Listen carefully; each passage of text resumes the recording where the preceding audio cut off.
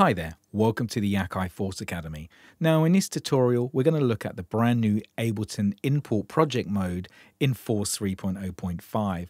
This allows us to take an Ableton project and directly import it into Force, giving us access to our audio clips in session view, drum racks, impulse instruments, simpler and sampler instruments, and we can even import the complete arrangement from Ableton into the Force Arranger mode.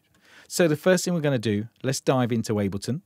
So here's the project I created. So you can see it in the arranger mode. Let's go to our session view and you can see that we've got a whole bunch of clips and instruments. Now track one, this is my melodic loop.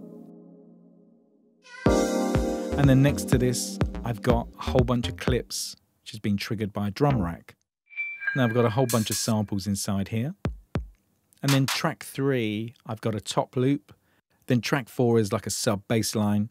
Then five and six, I've got a sampler and simpler instrument. And then on track seven, I've got a impulse percussion instrument, which is doing some additional percussion drums underneath. Now, if we go to our arranger view, I've structured my song using all of these elements. So let's play that. And let's navigate to track six.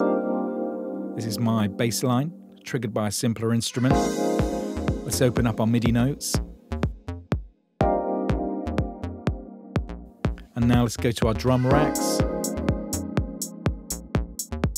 And again, we can see all of our MIDI parts here. So the great thing is, we can take this arrangement and import this into Force.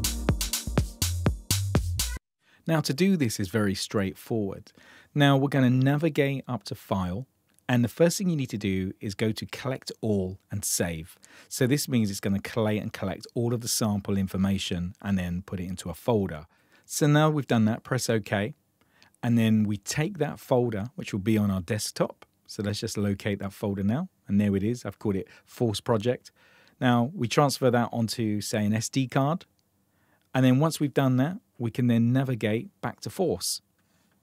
So now that we've saved our data onto an SD card, let's put it in our reader.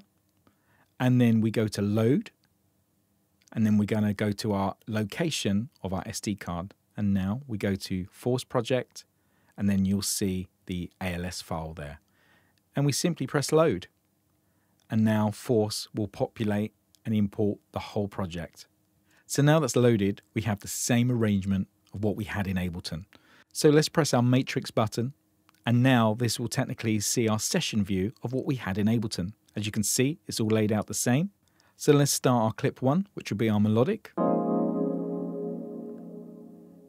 Now I'm going to press clip so I can actually see the audio file. And let's highlight that and you can see that warp is engaged. Our BPM has been imported. We have the same volume. So all of our data has been imported in on that track. Now if we go to track two, this is our drum racks. So you can see all of the MIDI information. Now if I press notes, I can now see the 16 samples that I had. So this means if I want to reprogram or add additional beats to my groove, I can just use the same drums. Now a really great shortcut, let's take this bass sound for instance. If I hold shift and press edit and then press the pad, it takes that sound and puts it into a key group, which means that I can now play it across the keys or put it into a scale. So let's press undo. And now on track three, I've got a audio file, which is like a top line hi-hat pattern. And then track four is like a sub bass loop that we had. Then track five is a sampler instrument, which is like an effect. And then on track six, I've got a bass sound, which was on a sampler instrument. And this has been imported as a key group, so I can play it across the pads. And then track seven is an impulse percussion instrument, which was eight samples of different types of congas, etc. Now we can edit any of these samples by going to menu and into track edit. I can now select individual samples and I can edit these but you can also see that when it imports it into Force, we see all the tuning, all the volumes, and this is the same if you're using drum racks. And you can even add layers to each of the samples to enhance the sound. Now, we can also add Force's internal effects processing to any of our tracks. We can just go to our mixer and say we want to add a reverb to this. We just go to our inserts and then we can just simply select one of the effects. Let's add a reverb. Let's go to the edit and let's bring down the mix wet and dry. And now we've added an effect straight to that track. Now, also, what happens when you import a project it brings in the full arrangement from Ableton. So we go to the Force Arranger, and now you see the whole structure of your song as you had it inside Ableton.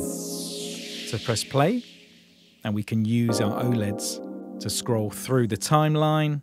We can expand our view, and now we can re edit, restructure our song. We have full control over the song arrangement directly inside Force. Using Ableton import mode means that you can take your projects into Force and use it completely standalone for studio production or for live on stage.